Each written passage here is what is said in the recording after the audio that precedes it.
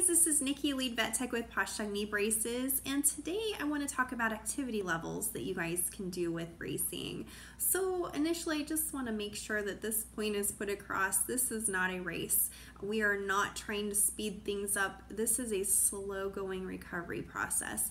We're going to start nice and easy with some easy walks and some light PT and some massaging and moist heat and supplements. So we don't want to start out with your dog running a marathon. That's not the goal. You know, I'm glad if I see patients, you know, putting full weight on that foot. That's perfect. That does not give you the right to let them off leash yet though.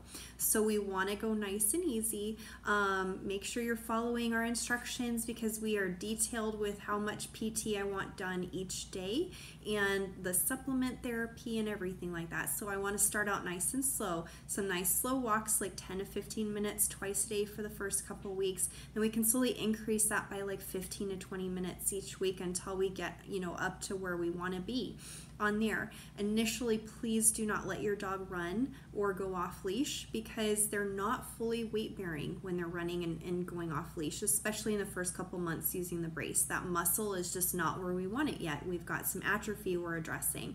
And so it's easier for your dog to lift that brace leg and run than it is to put full weight on that foot. You'll notice when you walk at a nice slow pace, that dog is putting perfect you know full weight on their foot. They're not you know toe touching. They're they're actually putting full weight and they're not overcompensating.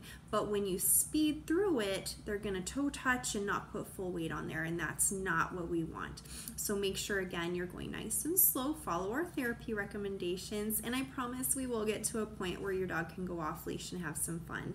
But initially i just want to keep that slow nice even gait. Make sure we're getting some full weight put on that foot and please let your service tech know if you have any questions. Our website's poshdogkneebrace.com. You can also click and email me. I'm happy to help.